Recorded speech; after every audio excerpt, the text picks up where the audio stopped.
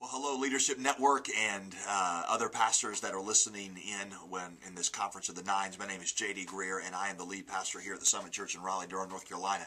Our church uh, is nestled right here amongst um, well over 100,000 college students. In fact, Forbes magazine has ranked this the number one educational hub in America for many years in a row. So we have a pretty wide open uh, mission field when it comes to college students. Uh, it makes for a pretty interesting um, challenge to church unity when you have UNC and Duke students and NC State students all in the same place. But uh, it means we have a lot of potential missionaries. We feel like our goal is to raise up uh, students who don't know God at all to sending them out as church planters. Uh, we feel like the mission that God has given us is to plant a thousand churches in the next 40 years. And uh, it means we got a lot of work to do. Uh, but the fact that we have a lot of college students means that we have a lot of potential church planners. In fact, we tell them that unless they've heard from God otherwise, they need to plan on spending uh, two years after they graduate uh, overseas somewhere in one of our, our, church plants or in one of our church plants here in the United States. Uh, we call that the, the Mormonization of our of our church.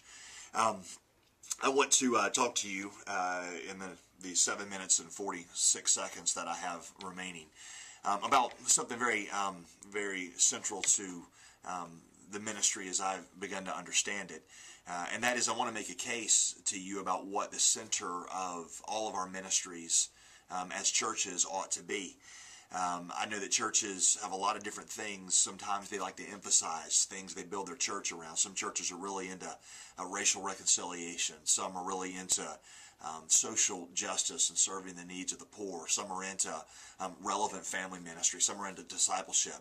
But I want to make a case to you that the center of our ministries has to be, as Jesus, um, I believe, instructed, has to be the proclamation of the gospel.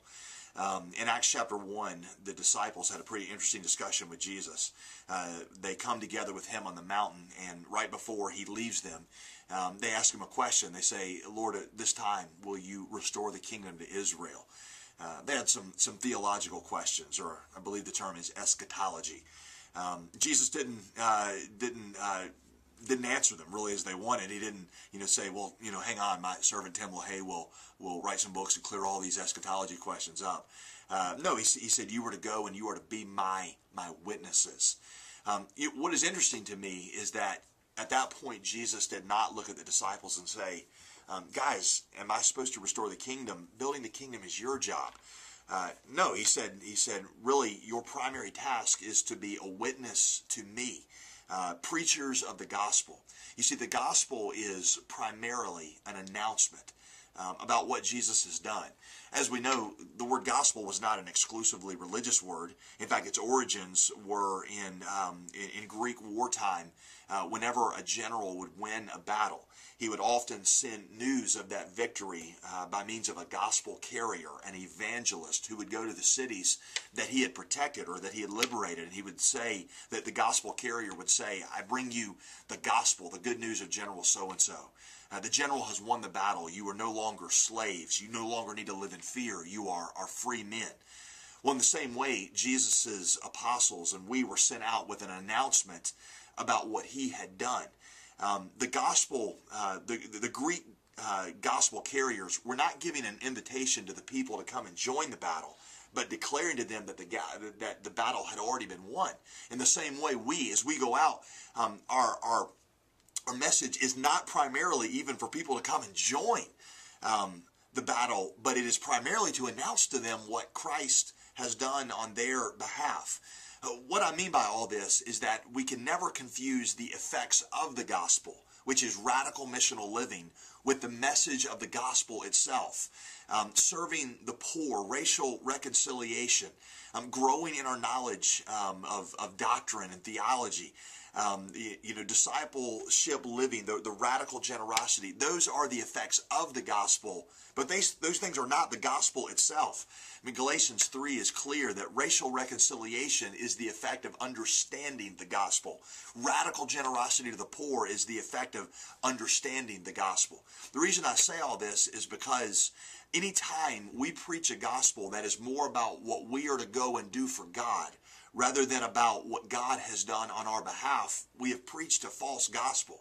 The gospel is the good news about what Jesus Christ has done on our behalf when he died in our place, substituted for us as sinners, and won our victory. And we are to spend our lives responding to that.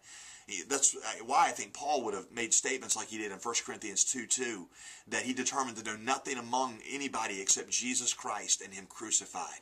In everything that Paul taught, you see that whether he was talking about how to be a good husband in Ephesians 5, whether he was talking about racial reconciliation in Galatians 3, whether he was talking about um, how to live the Christian life in Romans 12, he ties all of it to understanding what Christ has done for us. And he says, in light of what God has done for you, in light of the fact that Jesus Christ, who is rich for our sake, became poor, then we ought to be generous, and this is how we ought to respond. So again, we can never confuse the effects of the gospel with the actual message of the gospel itself. Now, that said, in uh, see how long I have left. Uh, in the book of Acts, uh, what you see is that anytime the gospel is preached, there are also signs that were given of the gospel. A sign was um, a physical demonstration, a tangible demonstration of what the message of the gospel, um, what the message of the gospel was. Uh, for example, when Jesus did signs, he not only did he preach the gospel of peace and sight, he also opened blind eyes. Now, Jesus' signs pointed back to the message. They were temporary signs. You know, every blind eye that Jesus ever healed went blind again one day right? Because everybody that he healed their blindness, they died. In the same way, um, the signs that we do in our community, they're in many ways temporary signs. Uh, the ghettos we rebuild will be ghettos again one day because we can't build the kingdom. Uh, we can give witness to the kingdom. We can give a sign of the kingdom. Uh, we are to, and, and, the way I've heard it once said, is we are to sketch out in pencil what one day Jesus will paint uh, with ink. Uh, but when we preach the gospel, we do these signs, not as ends in themselves, but as signifiers of, of the message. Uh, our church really came to understand this when we were, um, I was teaching through the book of Acts, and I came to Acts 8, where it talked about Philip going into Samaria, and as a result of the works that he did and the message he preached, Acts 8 7 says there was much joy in the city.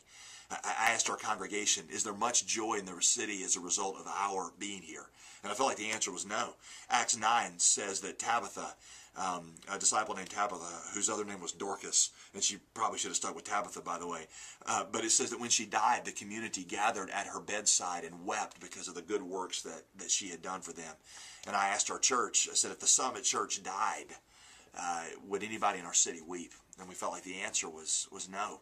And we repented as a church and said, we no longer want to just, just preach here in addition to preaching, like the apostles, like Jesus, we want to give signs of this message. And so we approached many of the public schools and said, we're not trying to come in and pass out tracts or do choir specials or, um, or, or, anything like that. We just want to come in and serve you. And um, we picked out the, the worst ranked school in all of Durham County and said, can we just serve uh, you. And we um, painted their facilities, we renovated, we, we built a lot. We came in and helped tutor their, their kids, and we prayed over their end of year test.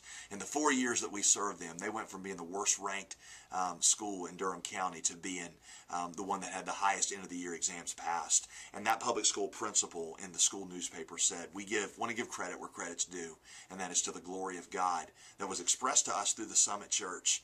Um, there was joy in the city.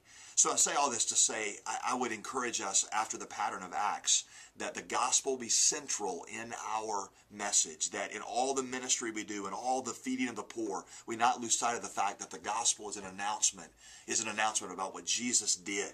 The gospel is, an, is, is not primarily about something we're to do for God, but, but an, an announcement about what he has done for us and that we, whenever we preach the gospel, signify that by giving radical demonstrations of generosity and love in our community, so that our community would say, man, we may not believe what those people believe, but thank God they're here because they care for our poor. Uh, they love us. Without them, we'd have to raise our taxes. And, uh, and I think therein we would adorn the gospel because, as has been said, I think by Francis Schaeffer, love is the most powerful apologetic for the gospel. Thank you.